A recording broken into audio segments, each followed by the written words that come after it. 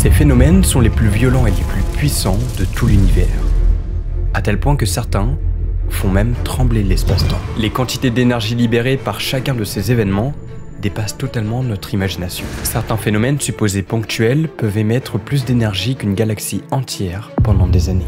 Des explosions surdimensionnées qui bouleversent l'univers à des années-lumière à la ronde avec des ondes de choc qui détruisent tout sur leur passage. Chacun d'entre eux font intervenir des forces fondamentales de la nature que l'humain ne saurait contrôler. Si la bombe nucléaire vous paraissait être une explosion violente, alors dites-vous que ce n'est qu'un claque-doigt comparé à l'explosion d'une étoile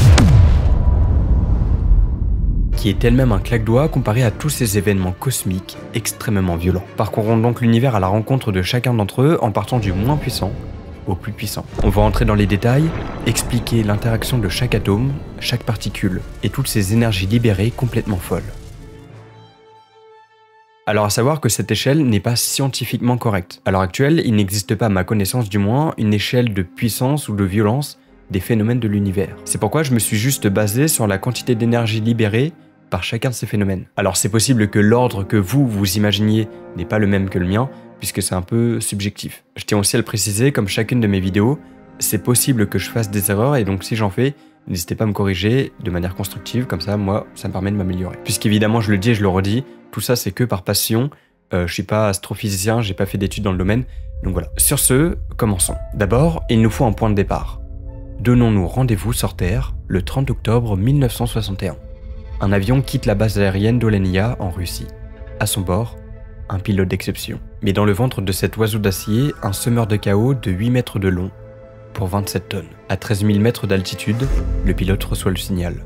Il lâche la bombe au-dessus de l'océan Arctique. Il est 11h32 à Moscou et la bombe explose à 4200 mètres d'altitude. La Tsar Bomba vient d'exploser. Une bombe à hydrogène la plus puissante qui ait jamais explosé sur Terre tellement puissante que la lumière de cette explosion est visible à 100 km à la ronde. Sa chaleur se fait ressentir à 300 000 km et des brûlures au troisième degré pouvaient être ressenties pour tout individu se trouvant à moins de 100 km du point d'impact. Un champignon de feu gigantesque s'élève dans le ciel, faisant plusieurs dizaines de kilomètres de diamètre, et une colonne de poussière qui monte jusqu'à 60 km d'altitude. La perturbation atmosphérique produite par l'explosion fait même trois fois le tour de la Terre.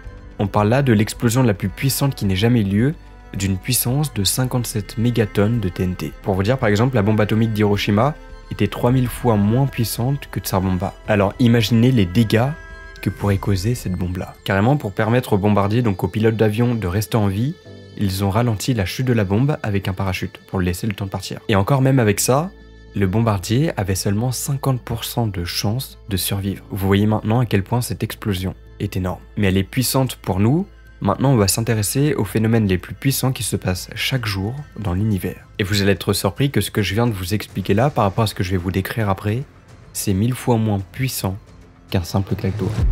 D'ailleurs, si on parle de bombes, c'est pas pour rien, puisque c'est un rapport avec le jeu War Thunder qui sponsorise cette vidéo, et je pense que ce jeu peut vous intéresser. En fait, c'est plus qu'un simple jeu, c'est un jeu d'action militaire multijoueur en free-to-play. Le but gagner la bataille. Vous êtes plongé dans un monde où les véhicules, les avions et les navires de guerre se lancent dans des combats épiques. Et tout ça dans le même jeu qui est disponible sur PC, Xbox et PlayStation. Chaque char, avion, hélicoptère ou bateau est recréé avec une extrême précision en accord avec son époque. Que ce soit du 20e siècle ou. Les combats sont authentiques et ça rend le jeu clairement unique. Et pour le coup, si vous voulez de grandes explosions, eh bien il y en a dans le jeu. Dans War Thunder, on peut aussi utiliser des technologies du 21e siècle comme les drones de reconnaissance ou les frappes nucléaires. Tout est là pour vous offrir une expérience de jeu immersive et complète. Vous pouvez jouer sur plusieurs terrains, que ce soit des déserts, des forêts, des montagnes ou des océans. En fait, clairement, tout y est. Et c'est ça qui est bien. Et avec la nouvelle carte Flandre disponible avec la mise à jour Kings of Battle, l'expérience de jeu est encore plus immersive. Comme par exemple la carte qui change en fonction des véhicules choisis. Imaginons que vous preniez un véhicule qui date de la Seconde Guerre mondiale. Eh bien, attendez-vous à avoir un énorme dirigeable au milieu de la map. A l'inverse, si vous jouez avec un véhicule moderne, eh bien attendez-vous à avoir des tours cellulaires partout sur la map. Et dans le cadre de la même mise à jour, vous pourrez retrouver le légendaire hélicoptère Black Hawk qui a été intégré au jeu. Chaque détail est pris en compte pour que vous puissiez vivre vos batailles jusqu'au bout. Et petit plus, vous avez la possibilité de personnaliser vos véhicules, vos systèmes de dégâts et autres. C'est clairement le meilleur gameplay dans sa catégorie. Si vous voulez relever le défi, foncez télécharger War Thunder. C'est gratuit et vous avez juste à suivre le lien dans la description. Tous les nouveaux joueurs et ceux qui n'y ont pas joué depuis 6 mois, vous avez des nouveaux cadeaux et plein de bonus. Merci beaucoup à War Thunder pour leur soutien. Bon, les bombes et les explosions c'est puissant, mais il faut maintenant quitter la Terre. Outre les éruptions volcaniques terrestres et tous les autres phénomènes liés à la Terre, on va directement se tourner vers notre Soleil. Pour observer, un phénomène encore plus puissant. On est à 150 millions de kilomètres d'ici, et notre Soleil produit une quantité d'énergie phénoménale. Et c'est parce qu'il existe que nous existons. Si vous avez vu ma dernière vidéo, vous savez à quel point notre Soleil est puissant. À sa surface se passent des choses totalement incroyables. Continuellement, chaque jour, il y a des explosions extrêmement puissantes qui ont lieu à la surface même de notre étoile. On appelle ça des éruptions solaires.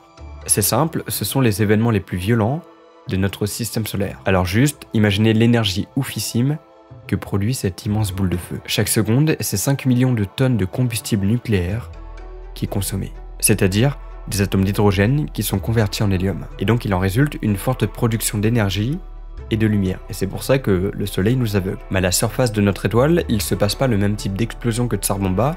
Là, on est carrément passé à une autre échelle. Les éruptions solaires équivalent à des explosions de 10 milliards de mégatonnes de TNT.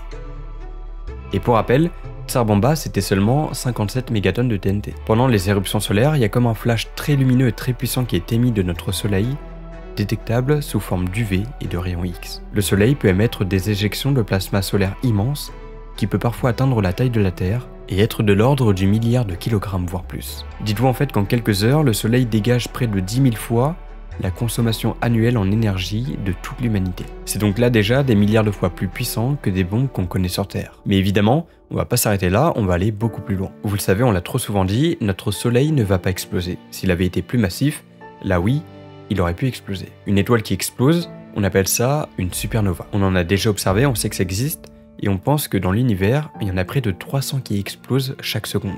1, 2, 3.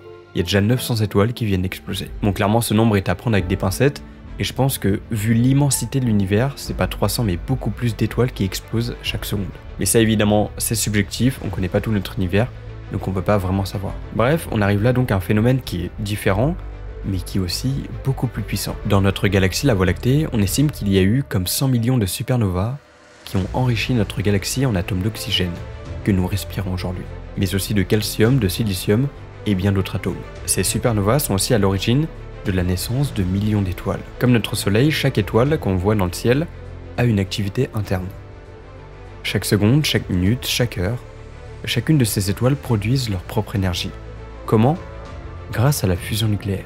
Elles transforment l'hydrogène en hélium et ainsi de suite selon leur masse. Mais pour les étoiles qui sont plus massives que notre Soleil, elles peuvent aller beaucoup plus loin et produire du carbone, de l'oxygène et ainsi de suite. Finalement, l'étoile fusionne, fusionne, fusionne et on arrive à un moment où elle va commencer à fusionner du fer. Sauf que le fer, c'est un atome qui est très stable et dès lors qu'elle commence à fusionner cet atome, c'est le début de la fin. En fait, l'étoile va se retrouver en déficit d'énergie puisqu'elle va produire moins d'énergie que ce qu'elle n'en consomme. Et donc, sous l'effet de sa gravité, elle va s'effondrer sur elle-même et boum, le noyau va se contracter très violemment sur lui-même, et l'onde de choc va se répercuter dans toutes les couches extérieures de l'étoile, qui vont violemment être rejetées dans les milieux interstellaires. C'est la mort de l'étoile en supernova. Dans un spectacle beau et terrifiant à la fois, toute la matière de l'étoile est projetée partout, dans toutes les directions. L'onde de choc est tellement violente qu'elle se fait ressentir à des années-lumière la ronde. Le noyau qui s'est effondré sur lui-même va soit produire une étoile à neutrons, ou pire, un trou noir. Et les supernovas font partie des explosions les plus puissantes de l'univers. Dans un chaos sans nom et un silence spatial, l'étoile expulse d'une violence extrême ses couches externes. La lumière émise est plus brillante que la lumière émise par toute une galaxie, contenant des milliards d'étoiles. Pour que vous vous rendiez compte, on va reprendre l'échelle initiale qu'on avait en TNT. La Tsar Bomba, c'était 57 mégatonnes de TNT, et on trouvait ça énorme. Les éruptions solaires, elles, sont à des milliards de mégatonnes de TNT, et c'est oufissime. Mais les supernovas ont largement dépassé ces dizaines de milliards-là, puisque elles, elles sont à 10 puissance 28 mégatonnes de TNT. En gros, c'est un 1 suivi de 29 zéros. J'ai tellement pas envie de lire ce nombre, tellement il est énorme. Mais si je vous disais qu'il existait des phénomènes encore plus puissants dans l'univers, c'est là qu'on se rend compte de toute la puissance qui y règne dans notre univers. Tous ces phénomènes dépassent la compréhension humaine. Comme autre phénomène très différent mais aussi très puissant, on pourra considérer les magnétars. Alors là, c'est pas une explosion à proprement parler, on les considère comme puissants parce qu'ils ont un champ magnétique extrêmement puissant. On parle en fait des objets célestes ayant les champs magnétiques les plus intenses de l'univers. Et tout commence quand une étoile explose justement en supernova. À partir de là, selon la masse initiale de l'étoile, le noyau sera tellement condensé sur lui-même que les protons et les électrons du noyau vont fusionner pour former des neutrons. Tout se densifie de plus en plus et on se retrouve avec un objet de l'ordre de 1,4 fois la masse du Soleil, dans un rayon de seulement quelques dizaines de kilomètres tout au plus. On appelle ça donc une étoile à neutrons. Donc là en fait, imaginez comme un Soleil un petit peu plus massif un petit peu plus gros, mais tout condensé dans un objet de 10 km, 15 km tout au plus. Et vous n'êtes pas sans savoir que notre Soleil et les étoiles en général tournent sur elles-mêmes. Et au moment où elles vont exploser, elles vont donc expulser leur couche externe, mais l'étoile à neutrons va continuer de tourner sur elle-même. Et étant donné que là on n'a plus affaire à l'étoile en général, mais plus le noyau de l'étoile, ça va faire comme l'étoile à neutrons qui tourne très rapidement sur elle-même. En fait, c'est exactement comme un patineur sur glace. Imaginez-le tourner sur lui-même avec les bras tendus de chaque côté. Cette rotation correspond à la rotation de l'étoile de base.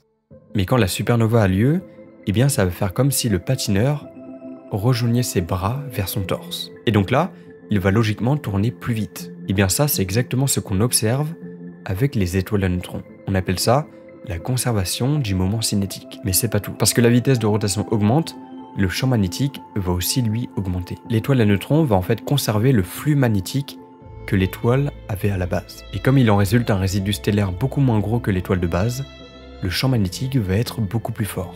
Parce que oui, en fait, on va avoir le même flux magnétique que l'étoile qui avait un rayon de plusieurs millions de kilomètres, avec maintenant l'étoile à neutrons de seulement 20 km. En fait, le rapport va être énorme. Même flux magnétique, mais pas le même diamètre. Et justement, c'est ça qui va donner à l'étoile à neutrons un champ magnétique très intense. Mais si par exemple l'étoile de base tournait plus rapidement sur elle-même, ou alors qu'elle avait un champ magnétique plus intense, eh bien dans certains cas, l'étoile à neutrons ne va pas être une étoile à neutrons simple, mais plutôt un magnétar. En parlant en fait d'étoile à neutrons, mais avec un champ magnétique mille fois plus intense qu'une étoile à neutrons basique. Ça va donc être un véritable monstre avec une puissance magnétique folle. Bon, c'est bien beau tout ça, mais parlons un peu en chiffres. Déjà, un champ magnétique, ça s'exprime en Tesla. Oui, du même nom que l'inventeur et ingénieur croate. Mais en astrophysique, on va plutôt parler en Gauss, ou Gauss, je sais pas comment on dit. Alors souvenez-vous de ça, un Tesla, ou une Tesla, je sais pas, égale 10 000 Gauss. Le champ magnétique de la Terre à sa surface est donc de 0,5 Gauss pour 50 microtesla. Ce faible champ magnétique permet à nos boussoles de fonctionner correctement. Et pour le Soleil, lui, il est estimé à près de 3000 Gauss, soit 0,3 Tesla. On commence donc à augmenter les valeurs des champs magnétiques de manière significative. A savoir pour la petite anecdote qu'à 10 Tesla, on peut commencer à faire léviter un petit être vivant, genre un petit mammifère. Pour une étoile à neutrons basique, c'est entre 10 et 100 millions de Tesla, soit en gros 1000 milliards de Gauss. Et en moyenne, le champ magnétique d'un magnétar est 1000 fois plus puissant qu'une étoile à neutrons basique. Ça correspond donc à un champ magnétique de 100 gigatesla. Avec un champ magnétique pareil, il se passe des phénomènes électromagnétiques étranges. La lumière peut être déviée ou repliée sur elle-même, ou alors recombinée. Certains magnétars atteignent alors une force de 10 puissance 15 Gauss, qui sont largement plus forts que ceux qu'on peut générer artificiellement sur Terre. Sauf que tout ça, c'est absolument rien comparé au quasar? Vous avez peut-être déjà entendu ce nom sans réellement savoir ce que c'est. Un quasar, c'est un trou noir supermassif qui siège au centre d'une région extrêmement lumineuse. En fait, les quasars représentent les objets astrophysiques les plus lumineux de l'univers. Mais reprenons depuis le début. Les quasars sont d'immenses objets extrêmement brillants situés au cœur des galaxies qu'on appelle aussi noyaux actifs de galaxies, abrégé AGN. En fait, ils sont si brillants qu'ils peuvent rivaliser avec des galaxies entières. Ils sont composés d'un trou noir supermassif et d'un disque d'accrétion énorme. Mais alors comment se fait-il qu'un trou noir qui normalement n'émet pas de lumière, soit aussi lumineux? Eh bien en réalité, c'est pas un simple trou noir, et c'est pas lui réellement qui émet la lumière. Ces trous noirs là en fait attirent de la matière de leur environnement, donc des étoiles, du gaz interstellaire, des astéroïdes et autres. Toute cette matière va être déchirée par les forces de marée du trou noir, puis elle va s'accréter autour de lui en se mettant à tourner de plus en plus vite, et la matière va s'échauffer. Tout ça va devenir du plasma, s'échauffer encore plus, et produire de la lumière. On obtiendra un plasma bleuté orbitant autour du trou noir supermassif. Tout ça, c'est ce qu'on appelle le disque d'agression. Mais ça, on va y revenir juste après. Et donc c'est tout ça qui rend un quasar comme étant l'objet le plus lumineux et l'un des plus puissants de l'univers. Mais comment se forment-ils D'où viennent-ils? Eh bien ça c'est une bonne question puisqu'on ne sait pas. La seule chose qu'on pense savoir c'est qu'ils sont aussi vieux que l'univers, donc alors peut-être on peut en faire un lien avec les trous noirs primordiaux, mais ça je vous laisse aller voir cette vidéo là. Maintenant, imaginez qu'on s'approche avec notre vaisseau spatial d'un quasar qu'est-ce qu'on ressentirait et est-ce qu'on y survivrait? On est encore très loin du quasar et on voit comme une tache au loin, très aveuglante qui fait la taille de notre Soleil. On s'approche et une chaleur se fait ressentir à cause de l'intense rayonnement émis par le disque d'accrétion. À cause d'effets d'optique relativistes, plus on s'approche, et plus on va avoir l'impression que le trou noir s'éloigne de nous et devient de plus en plus petit. La chaleur se fait ressentir et devient de plus en plus forte. En temps normal, on n'y survivrait déjà pas. On s'approche encore plus et tout devient bleu et on finit par être ébloui totalement. On s'approche encore et encore et on voit le trou noir supermassif. Et finalement, ça y est, on dépasse la limite. On traverse l'horizon des événements, c'est la frontière entre l'intérieur et l'extérieur du trou noir. Alors qu'il est, on serait déjà mort à cause des radiations intenses. Mais en traversant l'horizon des événements, on continue de tomber. On voit rien, on s'approche de plus en plus du centre du trou noir. Et plus on s'approche, plus on finit par être comme écartelé. C'est à cause des effets de marée et d'un phénomène qu'on appelle la spaghettification. En gros, si on plongeait la tête la première vers le centre du trou noir, notre tête serait beaucoup plus attirée vers le centre que nos pieds. Et donc, on serait comme une spaghetti. Mais évidemment, là, on serait déjà mort. Voilà en gros à peu près ce qu'on ressentirait si on allait vers un quasar. Donc je vous conseille vraiment pas d'y aller. Depuis la Terre, on voit les quasars comme des points brillants dans le ciel. Ces astres très énergétiques sont certes très brillants, mais sont également très éloignés. Donc non, on risque absolument rien depuis la Terre. Et d'ailleurs le plus proche se trouve à 2,44 milliards d'années-lumière.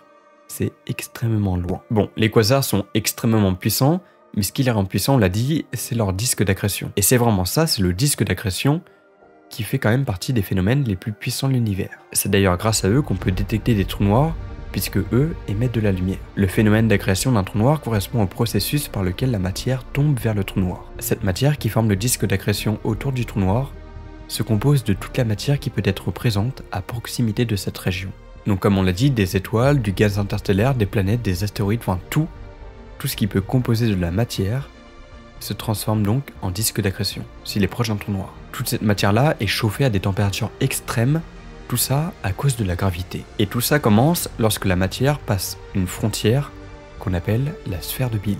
La sphère de Bill, c'est une région de l'espace autour du trou noir, délimitée par ce qu'on appelle la limite de Roche. C'est en fait une zone autour du trou noir où quand tu la franchis, la gravité devient si intense que la matière se fragmente. En fait, une fois passé cette zone, vous foncez irrémédiablement vers le trou noir et vous êtes condamné à intégrer son disque d'agression. Au sein de cette zone, les astres subissent des effets de marée si puissants qu'ils les disloquent pour former des amas d'objets plus petits, jusqu'à s'apparenter à du gaz. Dans cette région-là, il n'y règne que le chaos.